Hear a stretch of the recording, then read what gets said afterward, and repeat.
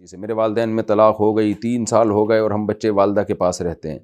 اور وہ میں کہتی ہیں کہ اگر والد سے ملنا ہے تو اسی کے پاس چلے جاؤ، میرے جنازے پر بھی نہ آنا۔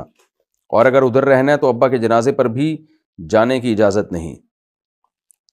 میں بہت پریشان ہوں، ان کو بھی نہیں چھوڑ سکتا کیونکہ میری والدہ اور بھائی بہنیں ہیں اور والد والد سے ملنے پر ان کو چھوڑنا ہوگا۔ میرے بھائی بھی اس بات پر مجھے سپورٹ نہیں کرتے۔ ان میں سے کوئی بھی والد سے ملنا ہی نہیں چاہتا۔ حالانکہ والد صاحب سے، والد صاحب نے ملنے کی کافی کوشش کی ہے۔ کہ ان کے حق میں بہتر کر سکیں، لیکن یہ ان کی بات سننے اور سمجھنے کو تیار ہی نہیں ہے۔ برائے مہربانی رہنمائی فرمائیں۔ والدہ جتنے مرضی تانے دے دیں، میرے جنازے پہ نہ آنا، تو آپ کو پھر بھی باپ سے ملنا واجب ہے۔ تو آپ جائیں اپنے والد سے ملیں، ورنہ آپ کو اللہ نہیں چھوڑے گا قیامت کے دن، کیونکہ رشتہ داری میں سب سے پہلا ماں باپ کا حق ہے، باپ اور ماں دونوں کا حق ہے۔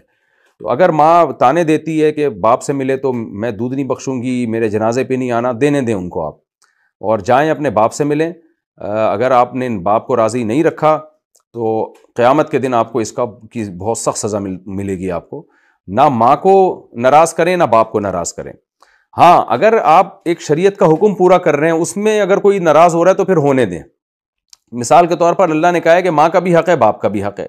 لا تضار والدہ تم بھی ولدیہ ولا مولود اللہ بھی ولدی کہ سپریشن کے بعد نا، نہ ماں کو نقصان پہنچایا جائے گا، نہ باپ کو۔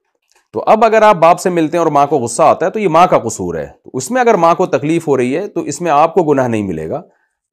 یہ ماں کا، ماں کی غلطی ہے کہ وہ کیوں بچے پر قبضہ کر کے بیٹھ گئی ہے اور باپ سے اس کو ملنے نہیں دے رہی۔ تو اس لیے باپ سے بھی ملے، ماں سے بھی ملیں پھر بھی اگر کوئی ناراض ہوتا ہے تو ہونے دیں، آپ اپنی طرف سے مناتے رہیں اور ان سے بولیں کہ اماں یہ نہیں ہو سکتا اٹ از پاسبل اللہ نے مجھے حکم دیا ہے میں اپنے باپ سے بھی ملوں۔ تو انہوں نے آپ کے ساتھ جو کیا، وہ کیا۔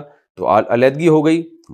بس اب آپ کا کیا رونا دھونا کہ وہ صحیح کر رہے ہیں، غلط کر رہے ہیں؟ سیپریشن ہو گئی، آپ الگ رہتی ہیں، وہ الگ رہتے ہیں۔ تو میرے لیے تو دونوں رشتے مقدس ہیں، میں ملوں گا، ان سے بھی ملوں گا، نہ میں ان کو ناراض کروں گا، نہ میں آپ کو ناراض کروں گا۔ پھر بھی کوئی ناراض ہوتا ہے تو ہوتا رہے بھائی۔ تو آج کل بہت ہو رہا ہے، مائیں بچوں کو دھمکیاں دیتی ہیں، باپ سے ملے تو میں یوں کر دوں گی، باپ دھمکیاں دے رہا ہوتا ہے کہ ماں سے ملی، ملے تو میں یوں کر دوں گا۔ تو دھمکیاں دینے دے بھائی، آپ دونوں سے ملیں جا کے۔ صبح نہ ماں کو چھوڑوں گا، نہ باپ کو چھوڑوں گا۔ اللہ کے حق کو جب پہلے رکھیں گے نا، پھر اگر بھائی ناراض ہوتا ہے، ماں ناراض ہوتی ہے، تو آپ اس پہ صبر کریں۔ اس ناراضی پہ بجائے اس کے کہ آپ کو گناہ ملے، ثواب ملے گا، کیونکہ آپ کو ٹینشن ہوگی۔ آپ اللہ کا حکم پورا کر رہے ہو۔ آج کل اللہ کے لیے رشتے جوڑنے والے بہت کم ہیں۔ اپنے ذاتی مفاد کے لیے سب رشتے جوڑتے ہیں۔ تو ایسے موقع پہ جب سارا خاندان ناراض ہو رہا ہے نا آپ سے اپنے باپ سے ملنے پر، تو ایسے موقع پہ اسے باپ سے ملنا تو ملنا کہلائے گا نا۔ ورنہ اپنے مفاد میں تو سب سب سے مل رہے ہوتے ہیں۔ بچے کو بچپن میں باپ کی ضرورت ہوتی ہے تو وہ باپ کو کہاں چھوڑ کے جاتا ہے وہ؟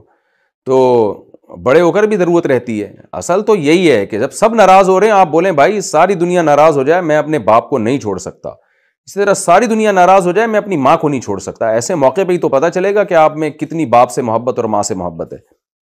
مرکز دین و ایمان۔ مرکز دین و ایمان۔ مرکز دین و ایمان۔